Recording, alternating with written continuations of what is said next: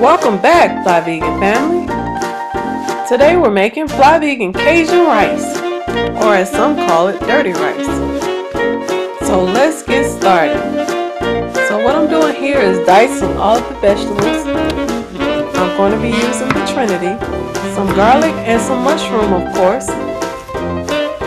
The Trinity is celery, bell pepper, and onion.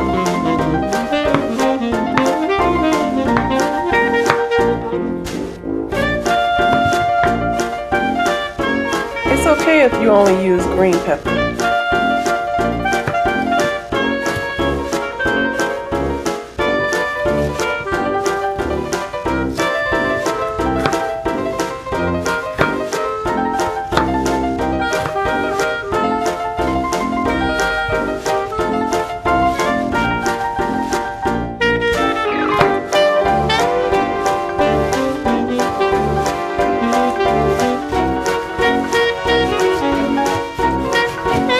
Now we're going to add some butter to a pan.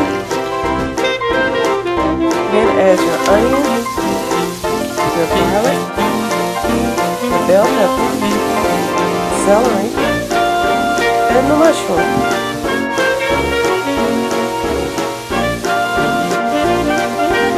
Saute the vegetables for about 10 minutes until they become translucent. And now we're going to add our seasoning throw in about three bay leaves, some smoked paprika, some cayenne pepper, some basil, thyme, sea salt, and parsley. I'm going to add some better than bouillon vegetable base. Mix everything in. Then I'll add the rice and some beefless crumbles add some soy sauce and water. Make sure everything is completely mixed in.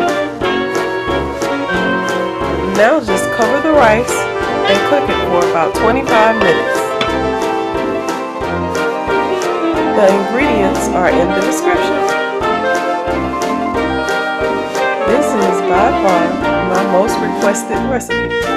And there you have it. Vegan Cajun rice. Time roulette. And if you like this video, give it a thumbs up, share it with a friend, and don't forget to subscribe.